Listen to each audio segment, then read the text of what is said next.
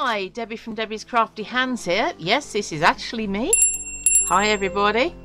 Um, introducing Peter, my tech guy. Um, we're trying a different um, format with the camera. So we've got a front screen and we've got a down screen. Um, so let's get down to it, shall we? So you might see a row of faces here. This is my inspiration. This little man here was given to me and I believe made by my niece. It's quite precious to me because it, you know, she made it for me. Um, and the backing is a little raw, but I have a way of um, combating that. And I'm doing my own version of it. So what I've done is I've got a one of my heart stacking dies. It's a little bit bigger than him, but that's okay. You can do whatever size you, you'd like. Um, I'm using felt, but you can use whatever fabric you like. But be aware if you're going to glue it down, some sheer fabrics will the glue might show through. So you need to be aware of that and have a, a thick enough glue um, thick enough fabric that the glue won't show through. So you can use a die cutting machine, um, find a heart around the house, the shape of something, maybe you've got a, a dish that's a heart shape or whatever, draw around that to give yourself a template. Um, or you can do a template by folding some card in half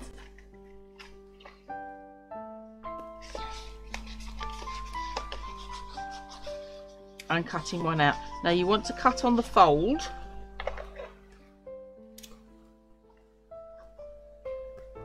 And just do your own shape. So I'm going to go out broad and then come back round.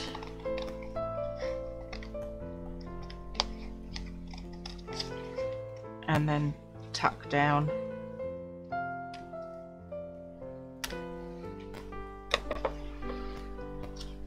and there's your heart so it's a little bit uneven on the top so I'll just fold it up again and just come in from the other side and round it out a little bit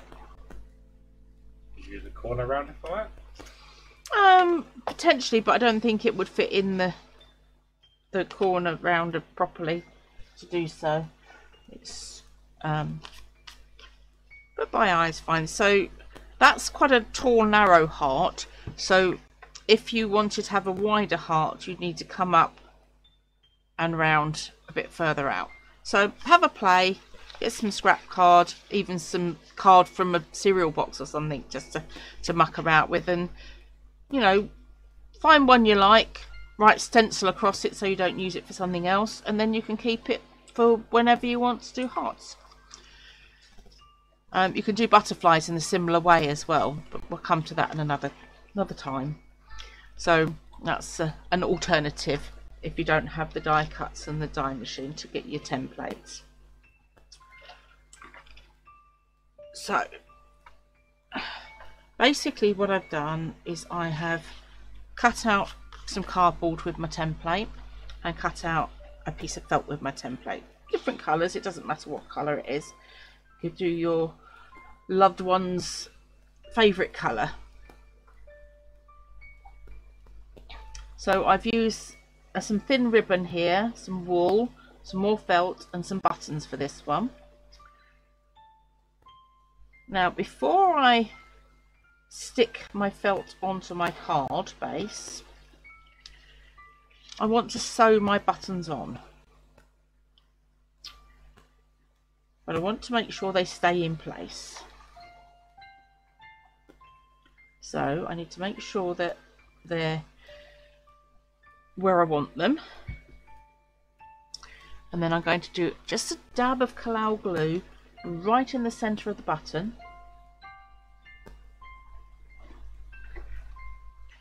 Right, so we've stuck the eyes on. We had a little quick pause there. Um, so you might find that the screen's moved around a little, or the slightly in a different place to where it would it was when we left you. Blink of an eye for you, and about two or three minutes for us. Um, so I'm coming in from the back because that's where all my working needs to be. And I'm going to give him cross eyes. my cross-eyed man. Now, as usual, I have a knot in the, the cord, the thread, and go through the loop. Can get there. Stop moving. Um, to secure him in. You don't need to go around a lot of times. It's going to be stuck down. It's already glued down. It's just really to give a feature to the eyes. So I'll go over a couple of times.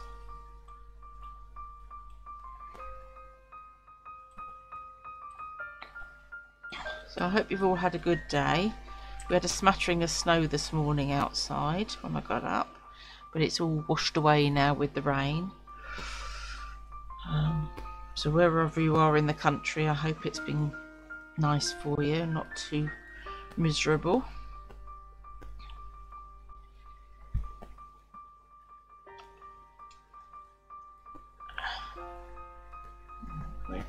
do a double knot on that one and then start again on the other eye you can go across but the danger is you might pucker your fabric so it's best to do individual buttons on this one or individual sewing pieces if you're into embroidery then you may feel feel like you can do I don't know maybe a French knot or something for an eye um, if you're feeling really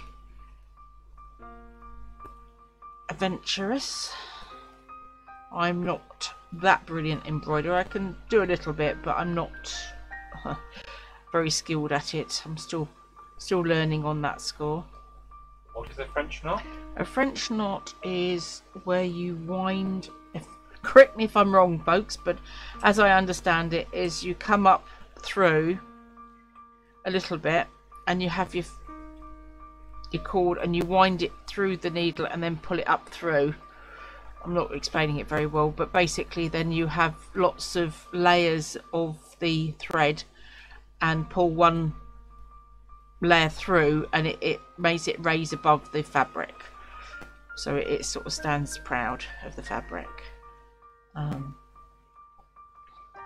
but if you want a, a full tuition, then um, best find a channel that does the embroidery because I'm not not brilliant at it.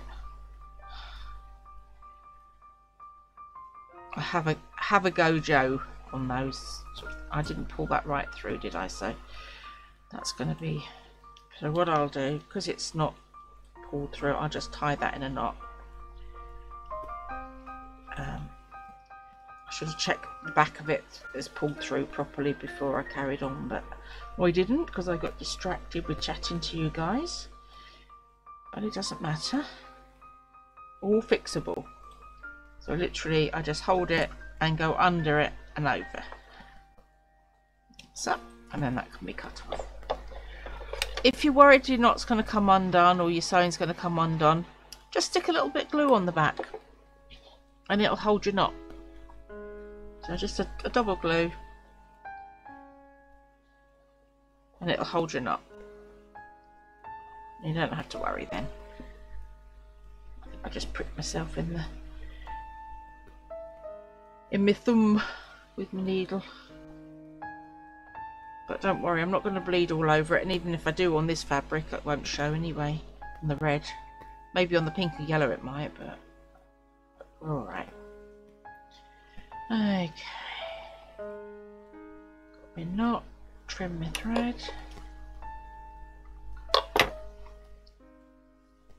And one last button on this one.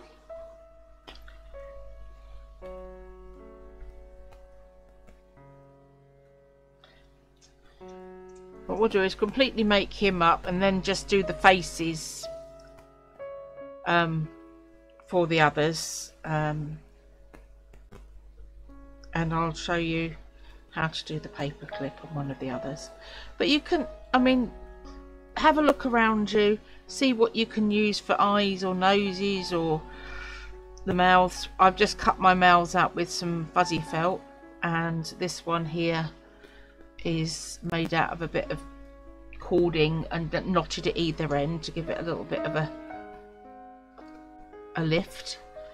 Um, but there's so many bits and pieces probably in your craft room and around yourself that you can use for this sort of thing. Um, and just invent your own face.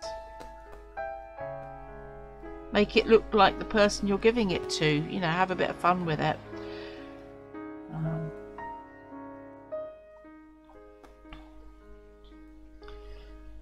Okay, one tie off here.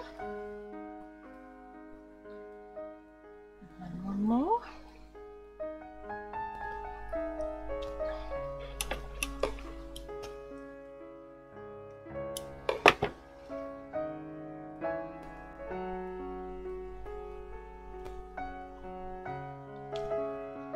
And I try and remember to, when I've cut off, try and remember to tie the knot in for next time because nothing more frustrated than pulling the cord straight or your, your thread straight through when you think the knot's there. So, get all the bits off my card. I don't know what those bits are, but they don't want to be there. And lay him on. And he looks a bit weird at the moment, but he will have a full face in due course. So I'm going to get me glue paper and get my Pritt stick. Now I'm pretty sure Pritt stick won't show through. I'm hoping it will hold. Um, I think it will. It's not going to be, hopefully, not thrown around. I mean, you can use this for um, maybe a facing of a card. You know, have a little man on the card, and then they can maybe pull it off and, or lady, I should say. Little character. How's that? That sounds better to say. Little character. Make your character. I'm going to start at the bottom, and I'm going to work my way over.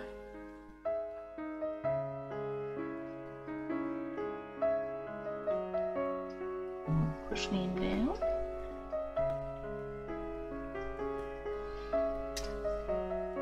There we go. So it's pushed down all around.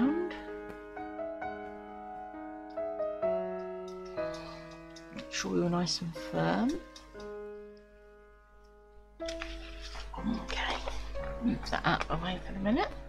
Right, so now we're going to do the eyebrows. Shall we have them at a nice jaunty angle, do we think? Yeah, why not? Now, the character I'm building is no representation of anybody I particularly know. It's just part of my imagination. So if anyone watching thinks I'm doing a character of them, then that's not the case. It's just a bit of fun.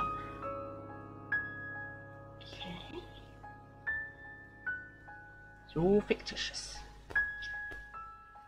And you can make them as wacky as your imagination will allow. You can put tufts of hair coming out the top. You can, oh, just let your imagination run riot. That's what I say. Right, matey. Let's get your lips on so you can talk to us. Now on the on the eyebrows, I just did a line of glue, but on the lips, I want to put the the glue onto the felt. Mainly because then I can position it easier. Get your lid back on. That. Now these reverse tweezers. They're in here somewhere. Oh, there they are. Have a little play with my, my tweezers. So, where are we? About there, do we think? And release. It's like a game of fuzzy felts, this. It's quite fun. Right, with this um, twine.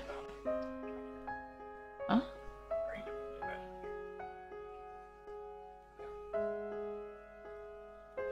Um, I'm going to tie a knot in the middle so that it doesn't unravel. So I'm literally tying a knot in the middle of my, my moustache. Try and make it even. And that way the, the two threads that wrap around each other are hopefully not going to unravel.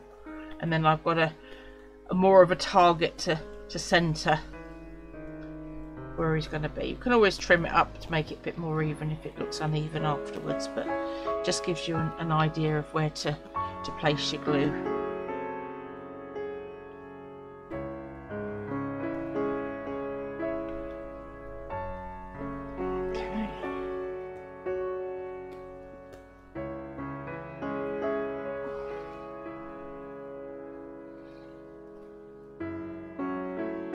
Straight across and just let it flop down naturally. Have it, have it flopping about a bit. Oh, it's going to do a candle bar, is it? Oh, well, that'll be fun. There we go. Very cheeky. It's a cheeky chappy, this one. Right, your lips don't go there. Your lips are over there. That's it. Okay. So, just let that dry a second. And I'll show you how to do the beads. So once again, we want to just put a dab of glue behind where you want the eyes.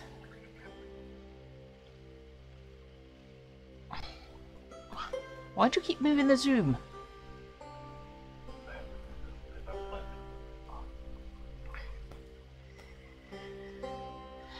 Technicians, you can't work with them, you can't work without them. Right, one eye there. Let's not have you squiffy eyed. One eye around here. Okay. And we'll have your nose right there. So you can make your faces as simple or as um, intricate as you like. As they play around with maybe putting a bow in the hair or making some hair come down the sides. You know, you can have some fun with it. Right, move your mouth a second. Get our bit of thread.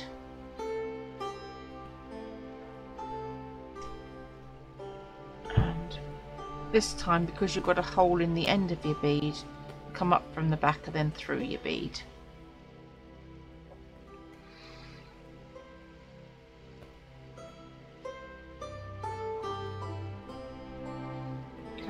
Thread, make sure I'm pulled through, come back round again. Try not to pucker your fabric, so you want to make sure your fabric's straight, otherwise it won't sit on the, the, the base very well. And then back through, and down. So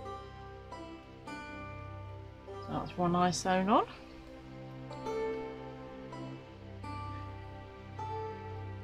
No, I was just rubbage, rummaging around my broken jewellery and I saw them and I thought, oh, they'll make brilliant eyes for the little little characters I'm going to to make. So that was uh, a good find.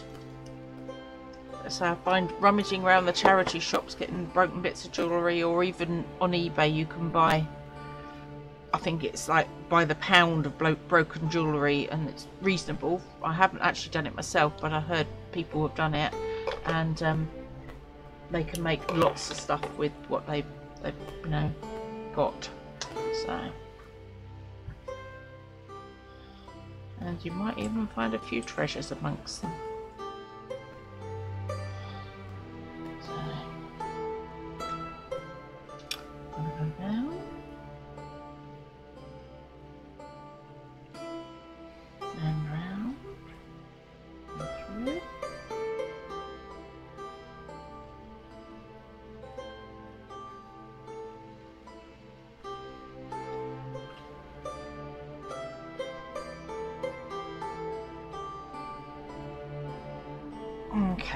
So you get the idea um, of getting the eyes on beads. I'll just go sideways instead of up and down. Um, let's work on the um, arms and legs, shall we? I think his moustache should be dry now. I didn't want to be mucking about with me, my handsome face there without uh, making sure he was dry so that we couldn't get him stuck onto the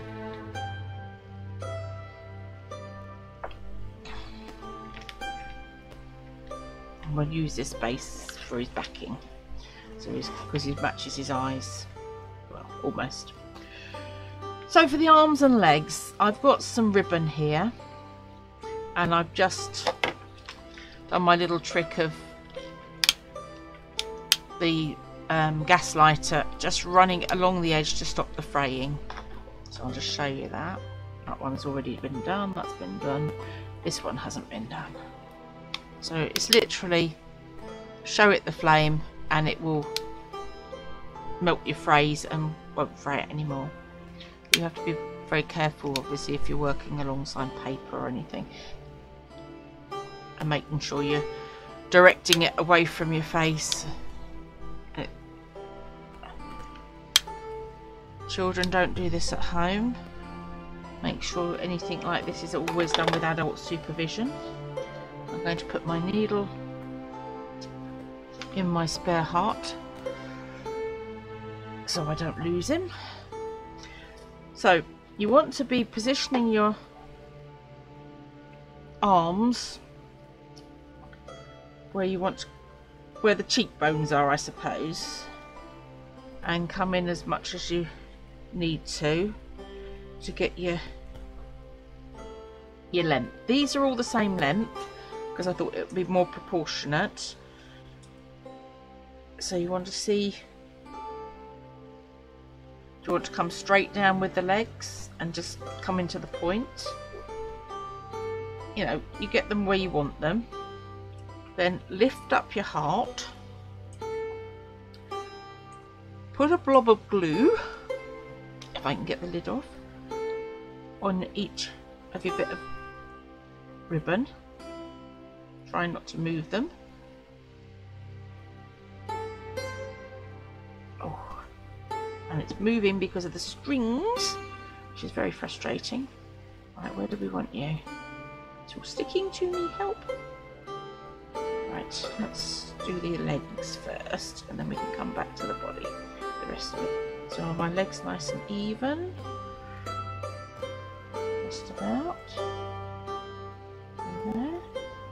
Hold him down. Hold that arm down. And then this arm. Make sure we're about level. About a fraction I think.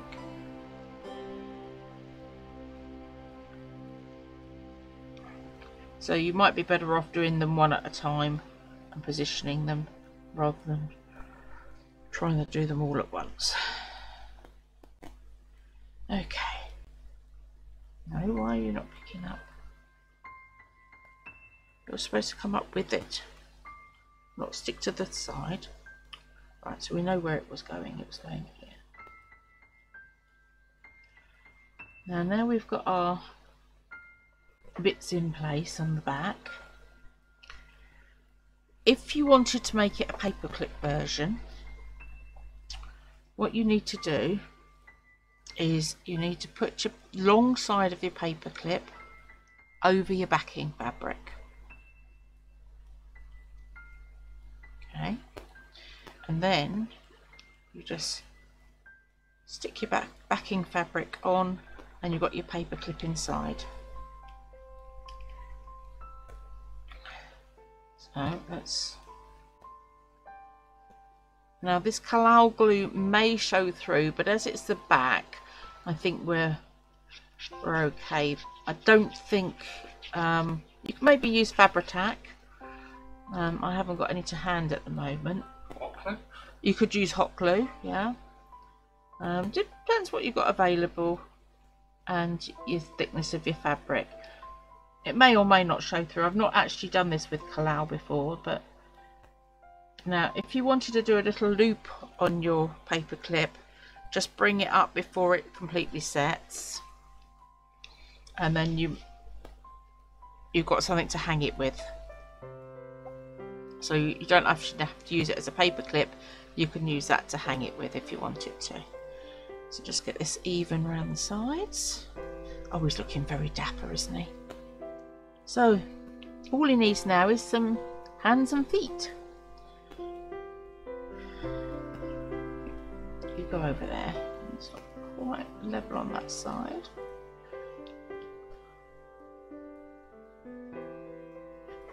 Move over a bit. Okay, got a little bit of wiggle room with that. Okay, so I drew round the original feet and hands and cut out some bits. It's not quite wide enough, but what you can do is, you know, just do your own to your own proportions. So you need to find out how wide your ribbon is. And draw yourself. I can get them out from my little bit that I wanted to store them in. So you draw yourself a pair of boots making sure you do left and right. And some hands. And basically stick them on. Now what you can do is do two of each and stick them back to back with each other.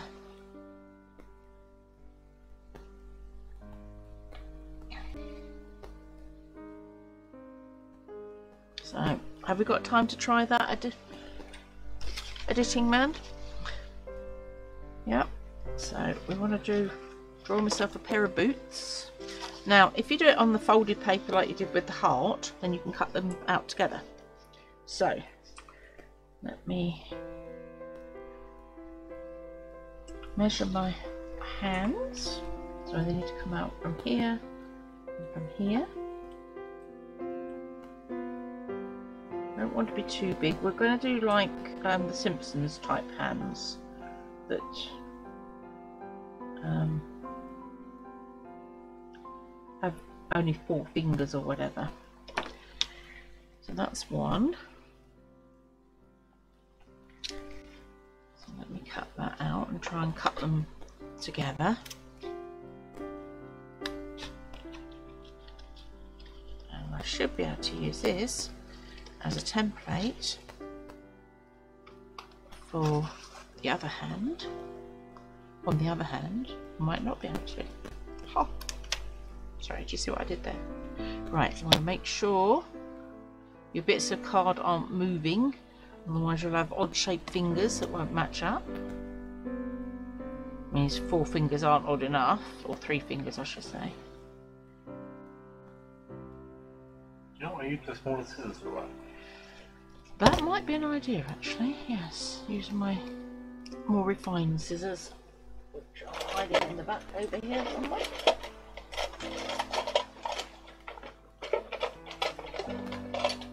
Okay. Now we're now we're motoring. Scissors. I mean, you can take obviously a bit more time over this, but I'm just showing you how it works. I'll do one hand. It's just the other hand is just a matter of doing it the other way up really.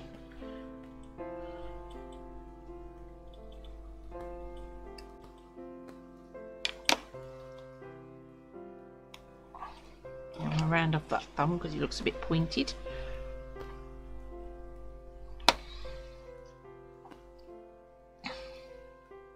So we can go either side like that and then just draw around it for the other one.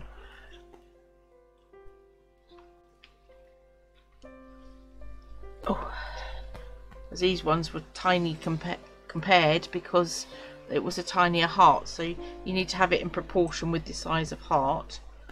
You could, um, I don't know, put a bit of ribbon on the join to make it look like a pair of gloves.